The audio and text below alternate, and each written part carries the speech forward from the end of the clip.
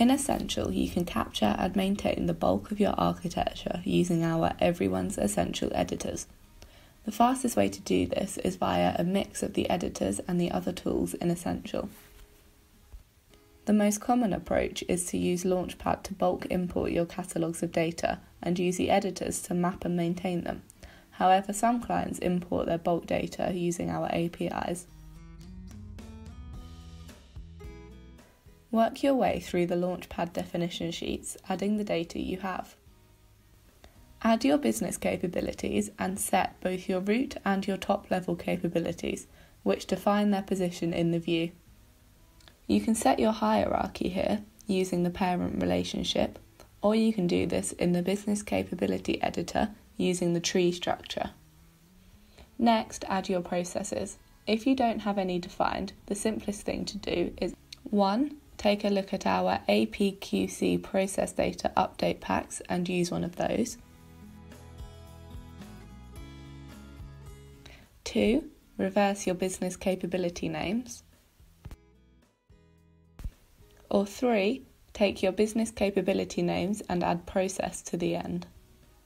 For 2 and 3, Launchpad is the fastest way to do the import. For 1, simply import the DUP directly into Essential.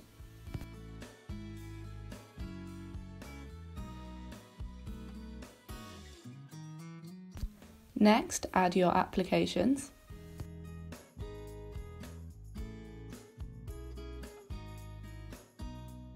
And the application services if you have them. And finally, import a catalogue of technology products, technology capabilities, and technology components.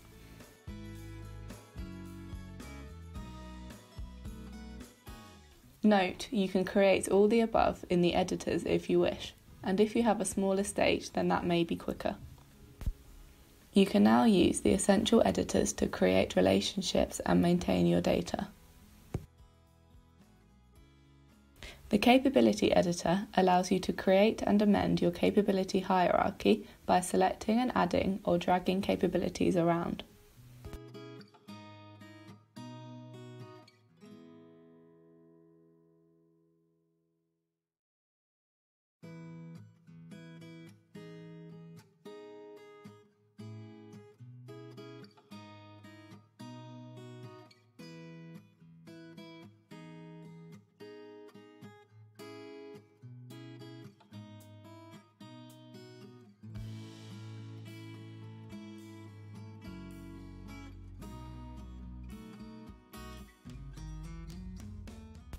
You can then associate your business processes with capabilities using the Business Process Editor.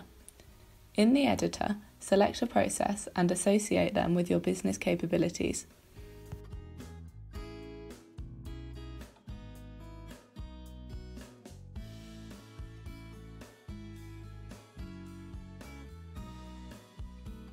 If you have captured your roles and organisation, you can set the role that is required by the process and which organisation or team performs it.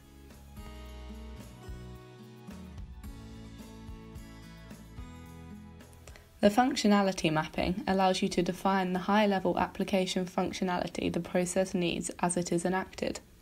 It can be useful to start by describing the functions the process needs rather than thinking about what actual application or applications the process uses.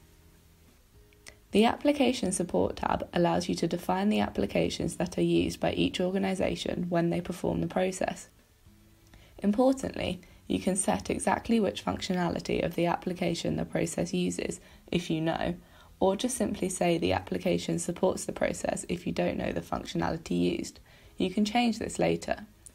This is important as a HR process may use, for example, Workday but it's more informative and useful to know that it uses, say, the payroll processing functionality and not the GL functionality. That's really important when it comes to looking at rationalization and replacement opportunities. In the application editor, you can set multiple facets to the application, such as dependencies, costs, and mapping back to the processes. The Business Usage tab allows you to define which business processes and which organizations use this application. This is a mirror of the application support in the Business Process Editor. The Technology Usage tab lets you capture what technology the application uses in different environments.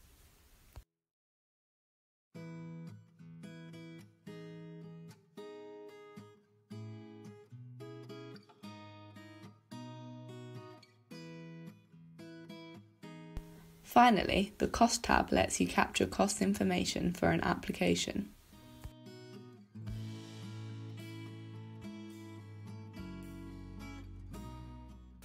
The Technology Type Editor lets you associate types of technology, e.g., web server, with capabilities and products.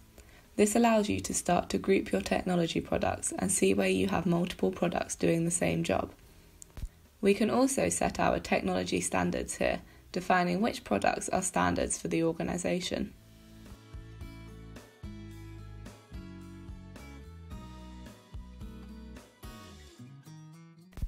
Finally, the Technology Product Editor allows us to capture and maintain information about our technology products.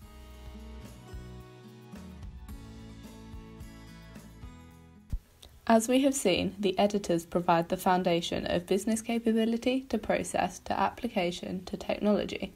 Importantly, anyone in the organisation that understands their area can maintain the data. They don't need to understand essential or architecture modelling to do so but the structure of the editors guides them in capturing semantically correct data.